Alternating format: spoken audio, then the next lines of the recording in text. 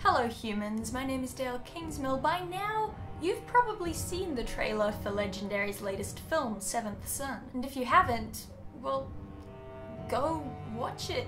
It's awesome. With the release of Seventh Son in cinemas, we look back to age-old warnings and return to the darker side of the supernatural. It's pretty spooky stuff, and unless you're the seventh son of a seventh son, you might not have the powers necessary to defend yourself from evil, or to take on a sorceress all on your lonesome. But don't worry, because Geek and Sundry has got your back. This quick video guide will teach you how to recognize and defend yourself against witches, no matter what direction they come from, north, south, east, or west. Alright, so there's a creepy old woman who lives on your street and stares you down with a glass eye whenever you walk past to go to the bus stop. But how can you discern whether she's really a witch or just a genuinely terrifying geriatric? First, see if you can spot any weird marks on your suspect's skin or in her eyes. Or in this case, I guess eye, singular, would would be more appropriate. Also keep an eye out for any strange animals or odd pet behavior, as witches have a long and well documented relationship with beasts. In Greek mythology, the island witch Circe kept a menagerie of all sorts of wild creatures which were actually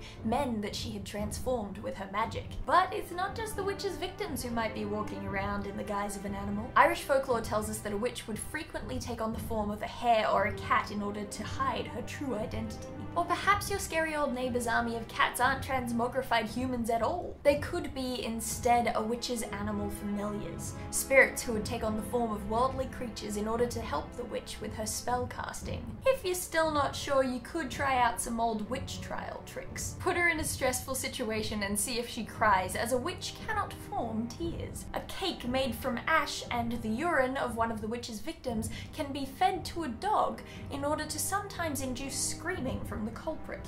Or if you're very impatient, you could tie her right thumb to her left big toe and throw her into a river. If she floats, then it is a surefire sign, according to the Middle Ages, that Mrs. Doherty was saved by black magic. Just think of it this way, if she weighs the same as a duck, then she's a witch. So remember these tips to stay safe from witches and remember to check out Seventh Son in cinemas. All the links can be found in the description for more information like session times for movies, all of that good stuff. Carry a four-leaf clover and good luck out there.